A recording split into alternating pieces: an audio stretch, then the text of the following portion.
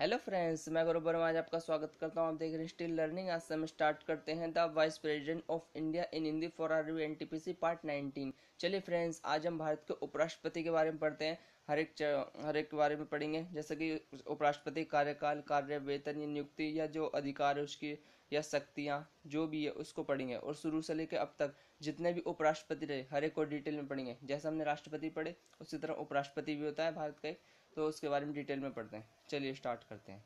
संविधान में उपराष्ट्रपति से संबंधित प्रावधान अमेरिका के संविधान से लिया गया है। तो यूएसए से लिया गया ये उपराष्ट्रपति का प्रावधान। दो और नेक्स्ट भारत के भारत के संविधान का अनुच्छेद तिरसठ यह उपबंध करता है कि भारत का एक उपराष्ट्रपति होगा। और नेक्स्ट उपराष्ट्रपति राज्यसभा का सदस्य नहीं होता, वो राज्यसभा का मेंबर नहीं होता। किंतु ऐसे मतदान का अधिकार नहीं होता। जैसे कि जो सदन में जो सदस्य होते हैं, वो मतदान करते हैं लेकिन इसे मतदान का अधिकार नहीं होता। किंतु सभापति के रूप में निर्णायक मत देने का उसे अधिकार है। जैसे यदि मत बराबरी बढ़ जाए तो निर्णायक मत दे सकता है। तो ये अधिकार होते हैं उपराष्ट्रपति के। चलो, अब हर किसी की योग्यता होती है तो उपराष्ट्रपति बनने के लिए कुछ योग्यता होती है। चलिए चलिए पढ़ते हैं इसे उसे भारत का नागरिक होना चाहिए, और वो पैंतीस वर्ष की आयु पूरी कर चुका हो, और वह राज्यसभा के सदस्य निर्वाचित होने के योग्य हो, और उम्मीदवार के समय लाभ के पद पर नहीं होना चाहिए। मतलब जब इसका चुनाव कराया जाए तो लाभ के पद पर नहीं होना चाहिए। नेक्स्ट राष्ट्रपति का कार्यकाल। जिस दिन उपरा जिस दिन उपराष्ट्रपति अपने कार्य कार्यालय में प्रवेश करता है, उसी दिन से वह पाँच वर्ष के कार्यकाल के लिए पद ग्रहण करता है। मतलब उपराष्ट्रपति का कार्यकाल पाँच वर्ष तक का होता है। और नेक्स्ट वह अपने हाथ से लिखकर राष्ट्रपति को संबोधित करके अपने पद से इस्तीफा दे सकता है।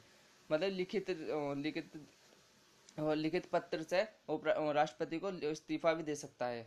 और नेक्स्ट उपराष्ट्रपति को अपने कार्यालय कार्यालय में राज्यों के परिषद के सभी तत्कालीन सदस्यों के बहुमत से पारित राज्यों के एक प्रस्ताव के द्वारा हटाया जा सकता है और लोकसभा द्वारा सहमति व्यक्त की जा सकती है।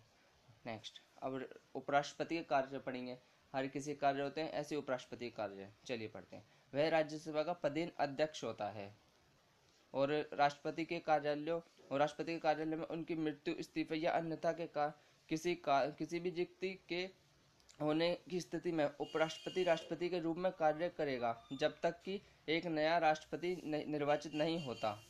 तो इसको पढ़ेंगे नेक्स्ट जब उपराष्ट्रपति राष्ट्रपति के रूप में कार्य करता है तो राष्ट्रपति के पद प्राप्त होते हैं और उपराष्ट्रपति को राष्ट्रपति के रूप में कार्य करने की अधिकतम अवधि छह महीने की होती है। यहीं से क्वेश्चन बन जाता है एग्ज़ाम में, जो पूछ लेते हैं। जैसे कि, जब उपराष्ट्रपति राष्ट्रपति के रूप में कार्य करता है तो इसकी अधिकतम समय सीमा कितनी होती है? तो आप ये ध्यान रखना, अधिकतम समय सीमा होती है छः महीने की। ये क्वेश्चन में एग्ज़ाम में क्वेश्चन एज इट इज़ पूछ लेता है तो इसे याद रखना। मोस्ट इम्पोर्टेंट है, चलो। अब पढ़ते हैं उपराष्ट्रपति, जो शुरू से लेके जब से हमारा भारत आज़ाद हुआ है, तब से शुरू कितने उपराष्ट्रपति बने हैं? और हर एक को डिटेल में पढ़ते हैं, चलो। भारत के उपराष्ट्रपति और उनके कार्यालयों की सूची, भारत के उपराष्ट्रपति और उनका कार्यालय। सबसे पहले डॉक्टर सर्वपल्ली राधाकृष्णन थे।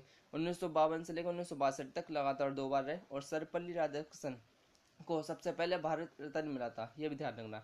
तो सबसे पहले उपराष्ट्रपति डॉक्टर सर्वपल्ली राधाकृष्णन और सबसे पहले भारत रत्न डॉक्टर सर्वपल्ली राधाकृष्णन को मिलता है।